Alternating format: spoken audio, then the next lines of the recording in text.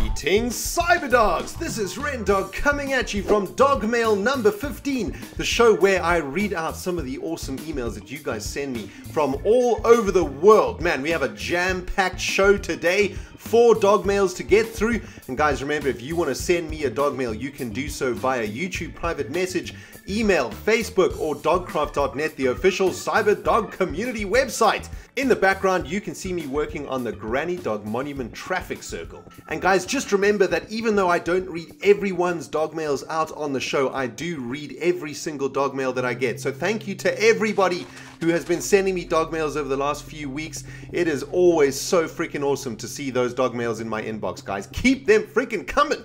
Dudes, without further ado, let us get cracking on this week's dog mail. The first dog mail comes from Rowanna, and she has to say, Hi Ardy, it's Ro- Rowanna, and I skimmed through all the questions on the forums and picked out the appropriate questions that us Cyberdog mods couldn't answer. So here are the questions. Mm, man, that is one huge list of questions. Let's get cracking. Do you have any plans of restarting Terraria? Um, I would like to play Terraria again. I must say I do love that game more than I love most games in the world, and, and I'm definitely going to try and find some time later on in the year to see if we can play Terraria again. Of course, there is Starbound coming, which is Terraria 2, inverted commas, which I'll definitely be playing. So we'll have to see how long Starbound takes to come out um, if we're going to you know think about restarting Terraria. Uh, what recording editing software do you use? Well, I use Sony Vegas Pro 12 HD and um, and I use Fraps to record the video, and I use Audacity to record the audio, and I put the audio and the video together in Sony Vegas.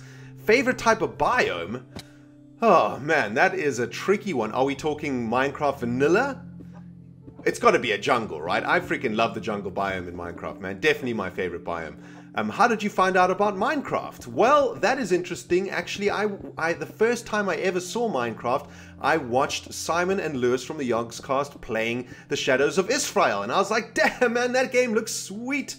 And um, I had been playing Terraria before I, I started playing Minecraft, so I kind of did it the other way around because Terraria came out after Minecraft, obviously. But I started on Terraria and then moved on to Minecraft, all because of those freaking Yog brothers, man.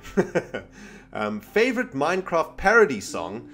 Um, it's gotta be Toby Turner's Swing My Sword. do you play Xbox 360? I do not play Xbox. I have a PlayStation 3. what is your secret to being so awesome? Um, um, it's it's it's probably all the steak that I eat. um, are you going to make a downloadable version of the song that you play when you fast forward?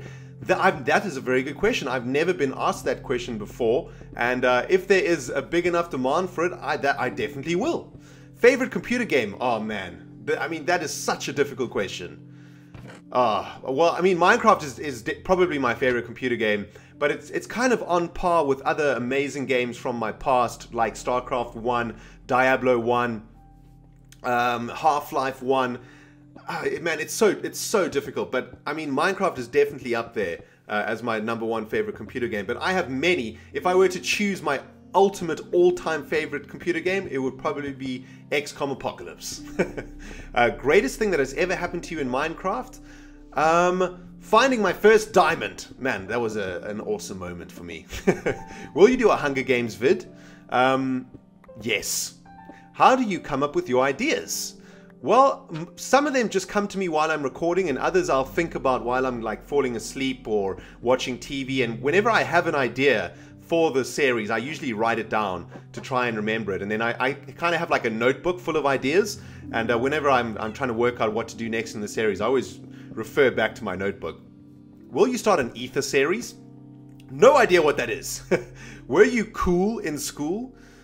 Um, I wouldn't exactly say cool, but I wasn't a loser.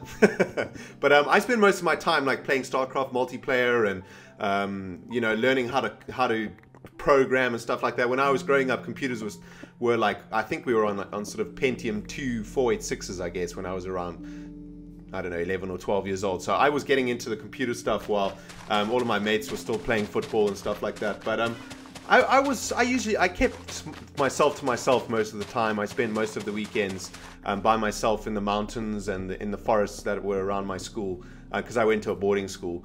So I guess yeah, I guess in in terms of the the um, the traditional sense of cool, I definitely wasn't cool.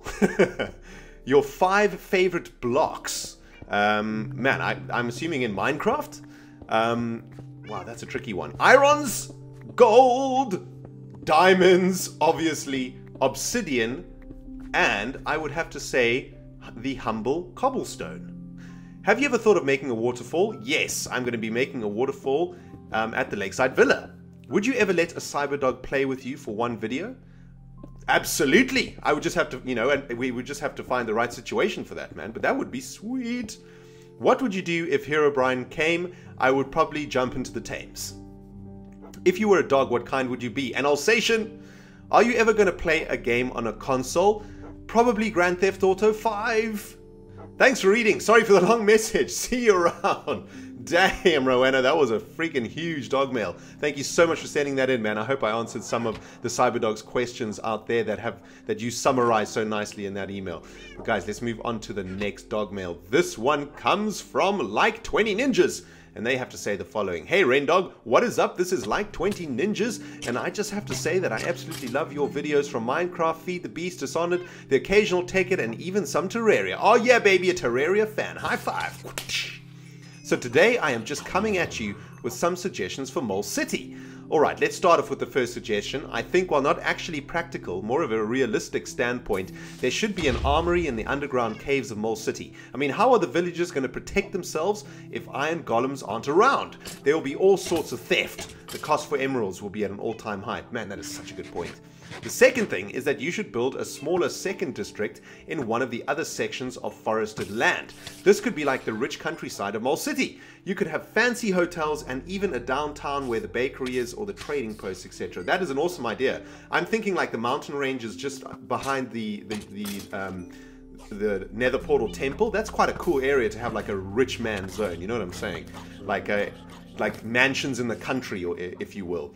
Now, this next thing, this is just a kind of random thought, but Obsidian Studios is thinking of working on a new game, Fallout 4. Oh my god! Just had a nerdgasm.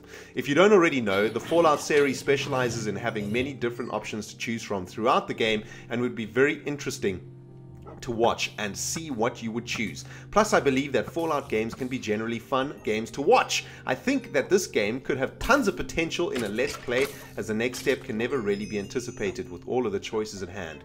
Please take it into consideration these three ideas from me, as I think these ideas would be absolutely sweet.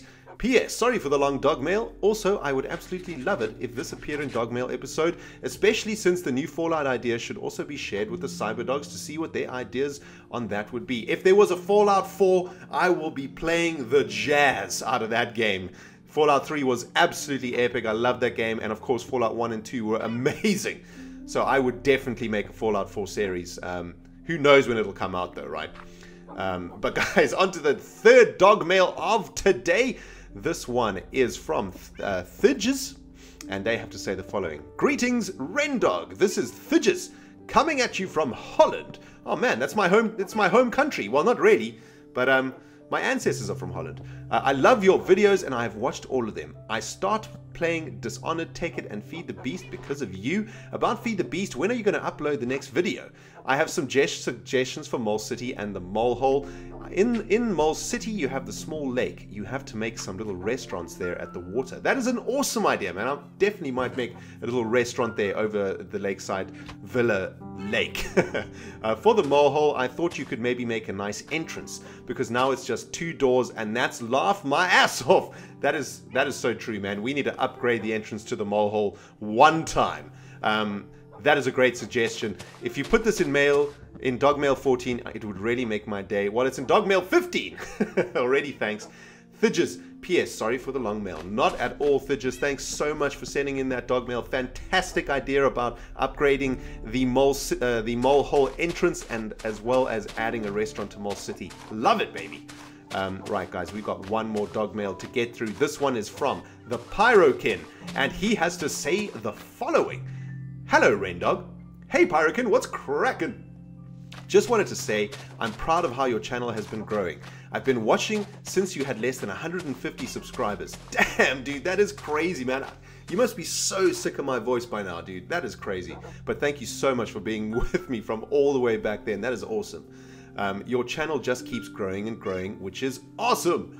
Anyways, I just wanted to ask and or suggest if you would were going to try to do little community play dates you know, maybe playing with some Cyberdogs on maybe Minecraft, Left 4 Dead 2, or perhaps just some random multiplayer games. It would be pretty cool and it'd kind of give a chance to some of the other Cyberdogs to talk to you. Another thing, keep doing a good job on your channel. I hope even you don't do community playdates. You'll still play against with me and other Cyberdog YouTubers. Thanks for reading the Pyrokin. Oh, thanks so much for sending that dog mail through Pyrokin. I think it's a great idea.